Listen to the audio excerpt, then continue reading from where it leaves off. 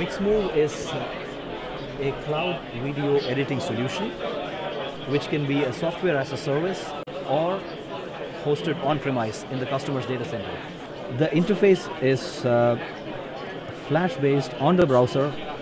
Once the media is in, you have a media library split into photos, videos and music. And once you bring media into the system, the properties of each media item can be changed.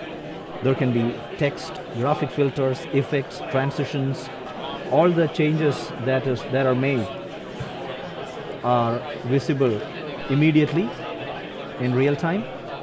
You can arrange your media on storyboard and then you can apply a template which will add transitions and effects. Once you're done, you can take a preview of the entire clip.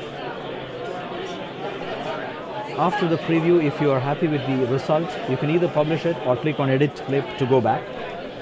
Essentially, Mixmoov gets media from different sources in any formats. You can treat it online in the browser and combine and create videos. Once it is done, publish it back to any destination.